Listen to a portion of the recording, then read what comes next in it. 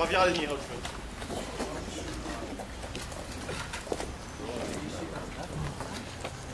Lufę mu urwało, to popatrzcie, skręcili na mównie i gotowi. Dalej.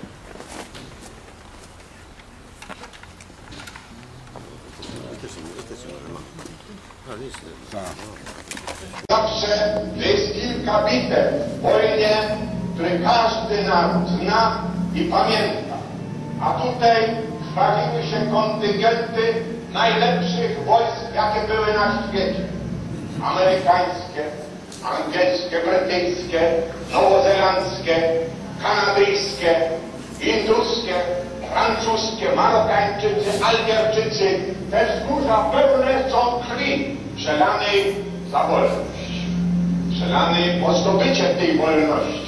I pamiętam, kiedy jeszcze od Campobasso dowódca 8 Armii przyjechał do mnie i oświadczył, że w ramach ogólnej ofensywy drugi korpus ma zdobywać Monte Cassino. Musiałem się zastanowić. Było to zadanie bardzo trudne, ale rozumiałem przede wszystkim, że to był okres, kiedy żołnierz polski musiał wejść do walki. Miałem do wyboru odmówić i przyjąć zadanie 13 korpusu w Dolinie rzeki Iliny. Mnie tylko jedna rzecz napawała troską, to jest strata. To jest ilość poległych. To jest ubytek najlepszych naszych żołnierzy. Ale wiedziałem, że na wojnie tak bywa, że na odcinku wydawało się spokojniejszym, straty mogą być też większe. I tak było. 13 korpus miał straty większe. Ale kto zna Dolinę Liry?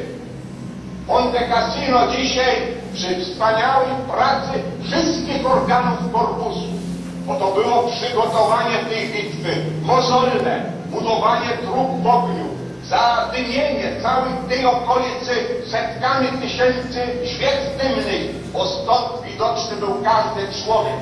Dowodzenie amunicji, ciężarówkami, potem samochodami lekkimi, potem na mułach, potem na plecach, chęt na te wzgórza, a mieliśmy do czynienia nie tylko z terenem zamienionym w twierdzę, ale bodaj z najlepszym żołnierzem niemieckim. Nie będę mówił o wysiłku żołnierzy. Wszyscy go dali. Wszyscy. Zarówno piechota, tutaj pomnik jest na tym wzgórzu 593. Kresowa dywizja San Angelo, czołgi nasze Albaneta. To wszystko są tylko wyrazy, bo ich nie można ująć. Wysiłek był wszelki, a ile ludzi uratowały nasze szpitale, nasi lekarze. Nie można tutaj mówić o całości bitwy. To jest za wiele czasu i za bolesne dla nas każdego. My tylko wiemy, że te tysiąc walecznych, które tu leżą na tym cmentarzu, to są nasi najdrożsi bracia, którzy dali życie o wolność ojczyzny.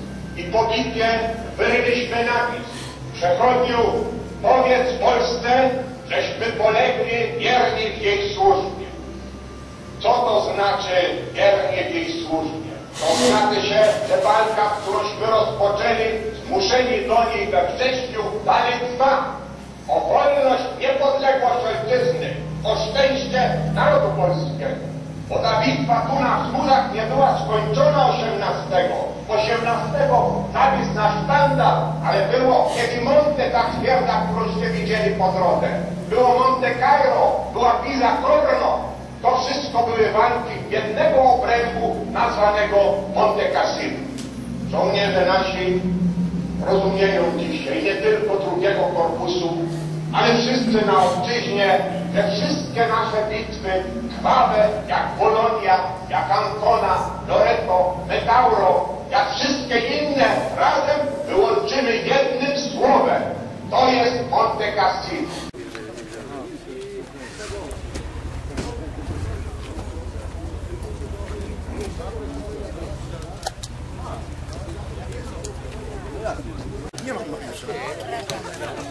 On poszedł do przodu albo...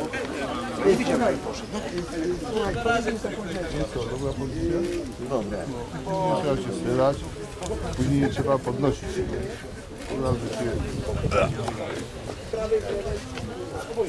do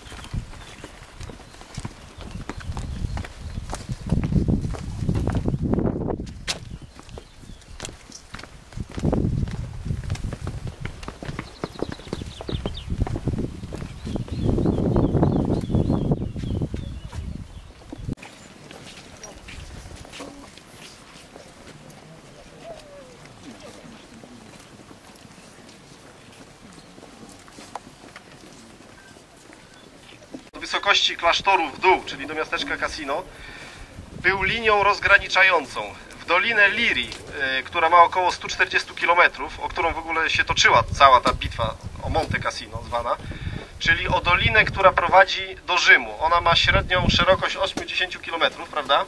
Jednak y, posuwanie się naprzód jednostek, zwłaszcza zmotoryzowanych, y, wymuszało zdobycie dróg, więc chodziło o drogę, o drogę na Rzym.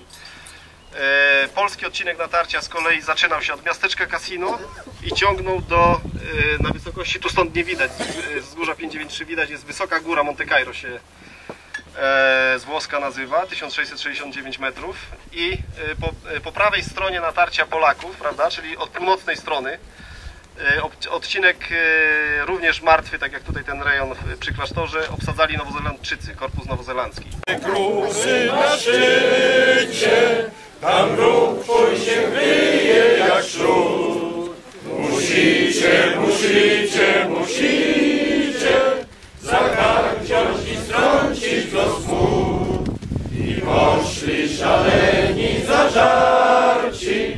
I poszli zabijać i mścić. I poszli jak zawsze uparci,